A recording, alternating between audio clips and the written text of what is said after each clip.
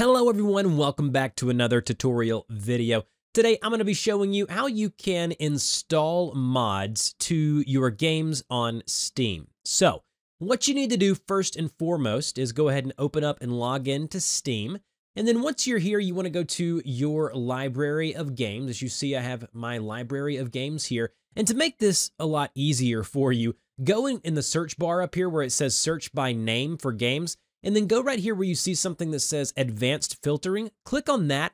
And then you want to filter by features and then go to workshop. This will let you know every game that you have bought or purchased and can install, okay? Not the ones that you have already installed, but any game in your library that does support mods, okay? That's the easiest way of finding the games that support them. So once you've done that, go to the game that you want to install the mod for. So here's the game that I want to install a mod for. And then once we're here, we'll see a few tabs here. The one we want to go to is the one here that says Workshop. Go ahead and click on the Workshop tab, just like that.